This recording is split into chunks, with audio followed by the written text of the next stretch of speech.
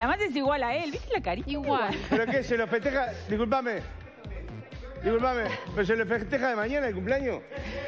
Yo siempre los cumpleaños los festejo a las 6 de la tarde, a las 5 de la está tarde. organizando toda la Vengo a noche. trabajar. Yo vengo a trabajar hasta, cu- hasta cuando yo estoy de cumpleaños. He venido a trabajar eh, en cada condición he venido a trabajar. Hoy mismo, por ejemplo.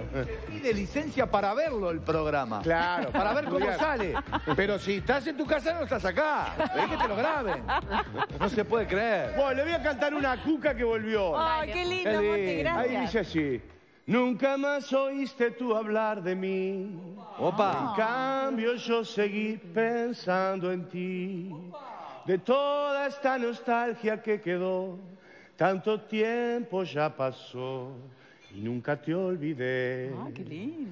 Cuántas veces yo pensé volver y decir que de mi amor nada cambió, pero mi silencio fue mayor y en la distancia muero día a día sin saberlo tú. ¡Oh!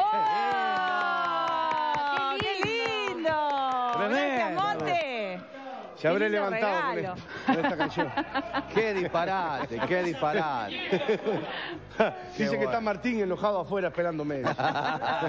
Tranquilo, Martín, esto es un programa de televisión, querido. Qué Me maravilla, vos, que sos qué de- maravilla. un hombre de las El único internacionales. Gran compañero, Montelongo, sentado ahí en la platea el día viernes. Gran compañero, el único. Muy bien. El único. Fuerte ¿Eh? el aplauso para el Coco y para todo el elenco. Señores, fui No al teatro fuiste. a ver al Coco. Yo voy solo a las horas que trabaja el Coco, solo. De teatro solo a la... Pará. ¿O no? Pero eso- ¿Es pero verdad no? Es verdad. Es verdad. Es verdad, pagué. Pagué dos entradas porque ocupé Ah. dos asientos. Sí, señor. El Coco para mí es el Robert De Niro de acá, Uruguay. ¡Ah! Fenómeno. Qué disparate. Eh, No robes, De Niro, no robes. No, muy bien, muy bien todo el elenco. Es impresionante la obra. Vayan porque está buenísima, buenísima. No me acuerdo el nombre, la verdad. Amor de película. Amor de película. Es que nunca me acuerdo de los nombres. No me acuerdo. No, eh, me acuerdo de lo que vi, del arte que vi. No, en serio, la producción, todo excelente. Desde que llegás hasta que te vas, es una maravilla. En el movie se lo recomiendo. Coco, después dámela a mí. Eh, Dale. No, está buenísimo. Bueno, ¿qué, qué pasó ayer en Argentina, Pato? ¿Qué pasó? Oh. ¿Comió del, tap, comió del tupper? ¿Comió del tupper, Chetini? ¿Qué? Lo tiró, ¿eh? Por 15 puntos le ganó la otra. Encima, escúchame, si habrás andado bien Macri en el gobierno que la otra que se llevó hasta todo te ganó por 15 puntos. Me quiero Qué matar. loco, ¿eh? De novela, te ganó por robo, Macri, ¿eh? Si no me salva el Pablo. Bueno, y a Susana Jiménez la vieron cuando fue a votar. No, ¿qué pasó? Entró Susana y todo. ¡Ay, Susana, Susana! Sí, pase por acá. Ah, por allá y se fue como a cuatro cuadras ya y se quería meter en el baño. No, no sabe ni para dónde meterse a votar. Y después el otro que la gastó fue este que estuvo acá la otra vez, Santiago Val, ¿se acuerdan? Sí. Eh, No, Federico, Val, Federico. el hijo. Ese, el hijo de Ah. Santiago Val. Este, entró a la vota- eh, puso en un Twitter, fue a votar y dice, puso en un Twitter como pasarse el demócrata, así, cosas. Dice, me encantan los días de votación, me gusta levantarme e ir a votar. Se luchó mucho por esta democracia que hoy vivimos. Disfrutemos esto sin banderas ni partidos. ¿Cómo sin bandera ni partido, querido? ¿Cómo va a ser una elección sin bandera? Le pusieron, imagínate, las redes sociales le pusieron sin bandera, pero que votás en otro país, alame. sin partido, ¿a quién votaste entonces? ¿A lo del, co- a lo del consorcio de tu edificio? ¿Cómo sin partido? ¿Te llevaste educación cívica a marzo, no? es como, claro, como llega, vamos a vivir la fiesta del fútbol, pero sin pelota ni arco, ¿eh? Eh, brindemos por un boxeo sin piña, por favor, muchachos, ¿eh? Disfrutemos de la comparsa sin tambores ni mamá vieja que andan jodiendo ahí. Dice, Vamos a la playa, pero sin sol ni baldecito. Pará, Santiago, ¿no? ¿Cómo es? Federico, Santiago es el padre. Ya sé a quién votar. Ahí lo va a Al decir. Gucci. El Gucci se tira diputado y hizo un pacto, una asociación con, con Daniel Martínez. Se tira con Daniel Martínez. Monte, ya que está, saca el tema, hoy tenemos la encuesta sobre, sobre este tema. Así sobre ¿Está de acuerdo con los, art- con los artistas que se tiran a la política? ¿Usted Estoy está muy de acuerdo. Yo estoy muy de acuerdo porque se puede aportar desde todos lados, ¿verdad? Ah, Obvio. ¿Eh? Yo me voy a tirar, cuando sea. Me voy a tirar. tirate ahora. Pero usted se tiró vice de todo. ¿Para qué me tiro? A una piscina me puedo tirar. El Gucci se lanza a la política con la lista 890 en apoyo a Daniel Martínez. Eh, 890. Mie- Mientras no se meta en política para hacer travesuras,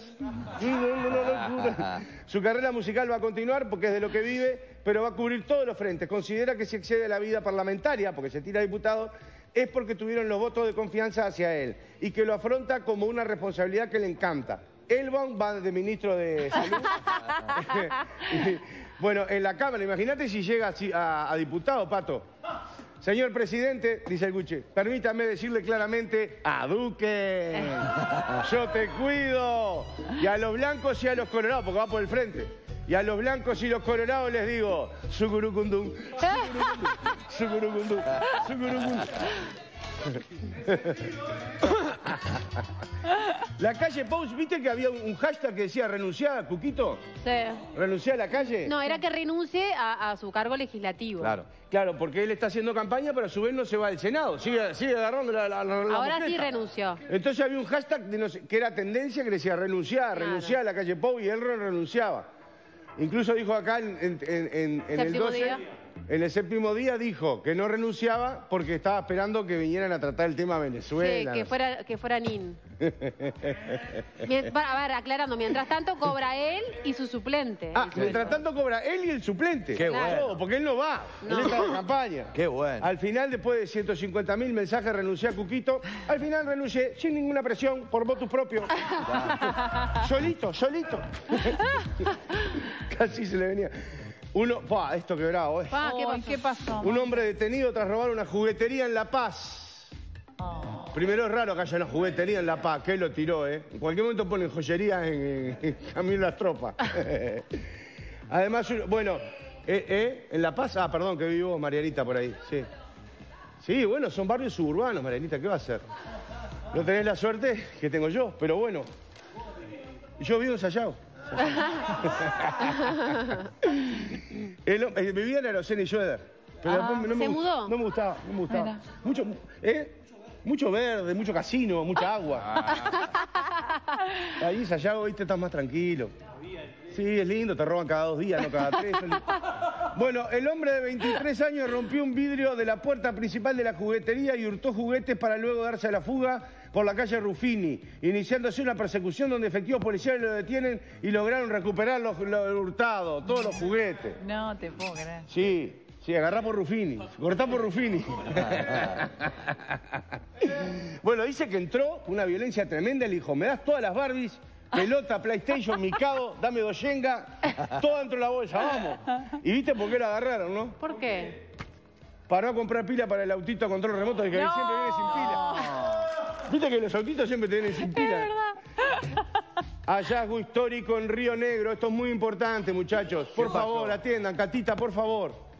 ¿Sabés qué encontraron en ¿Qué? Río Negro? ¿Qué? Grupos de huevos de dinosaurios. Mira. Huevos de dinosaurios. Nunca Ah. se había encontrado en Uruguay. eh, eh, tanto un grupo de huevos de Buenos Aires que son ¿Vivos? buenísimos. Dijera Susana. Vivos, vivos, dinosaurios todos vivos. Y esto es buenísimo, una buena noticia para vos, Cata. Y porque el huevo de dinosaurio te rinde como 300 huevos de gallina. Escuchame. Incluso yo en casa, en vez de... ¿Sabés cuántos omelés haces con uno de dinosaurio? ¿Cuánto? Eh, incluso para tener en tu casa, en vez de gallinas, ta, tenés que tener un fondo amplio. pero tenés, yo qué sé, dos, tres dinosaurios. Estás salvado, estás salvado. Este, y además el dinosaurio es guardián, guardián, ¿sabías, no? Vos lo ponés en el fondo, es guardián, ladra y todo el dinosaurio. bueno, expertos del Departamento de Paleontología de la Facultad de Ciencias se encuentran en el lugar realizado, eh, realizando excavaciones para retirar 10 o 12 huevos de sauro, saurópodos, el herbívoro que habitó estas tierras hace 65 millones de años. Pajarito. Fue el año que el pato entró al canal. Este, este, Es la primera vez en la yo- Un año antes entró el pato. El portero era dinosaurio cuando entró pato. Es la primera vez en la historia del Uruguay que se encuentra una nidada y en esa zona de 200 metros cuadrados. Bueno, hay varios agrupamientos. Eh, felicitaciones a todos los científicos, ¿no? Que, que hicieron Claro. este hallazgo, que realmente es importantísimo. Y si encuentran un huevo puede ser mío. Yo, que que me, se No. me cayó ayer ¿Cómo? mirando tele. No. No, pero no este canal, otro, otro canal. No, no miro, vino para inspeccionar, para inspeccionar la- las porquerías que están haciendo. Le hacen la circuncisión por error y acaba con una cuenta bancaria. ¿Eh? No, ¿cómo?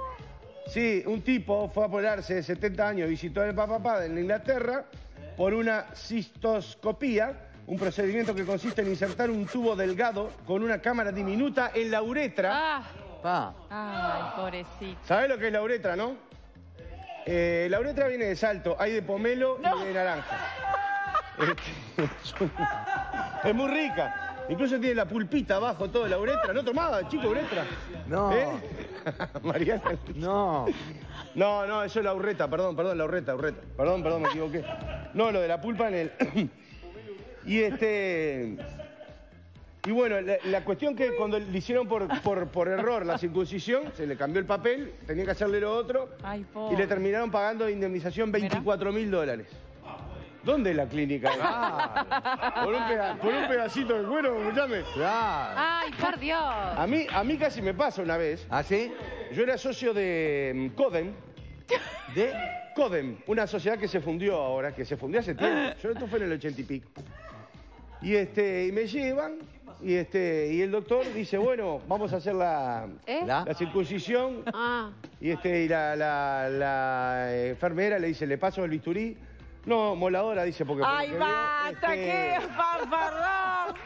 Y ahí me di cuenta, le digo, no, yo estoy por otra cosa. Le digo, Juicio. "Claro, yo estoy por la uretra, le qué digo. guarango, qué guarango. Gracias. me encanta eso. ¿Eh? Todavía seguí, claro. De esto vivo, de esto vivo, aunque les parezca mentira. Que les parezca mentira, señores televidentes, de esto vivo.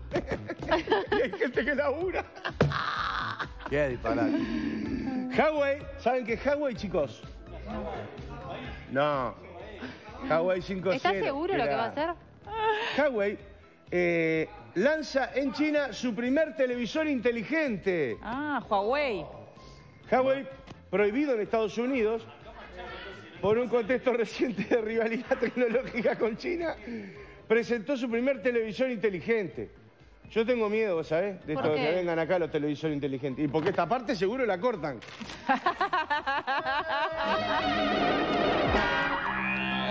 Qué disparate. ¿eh? Qué Qué disparate.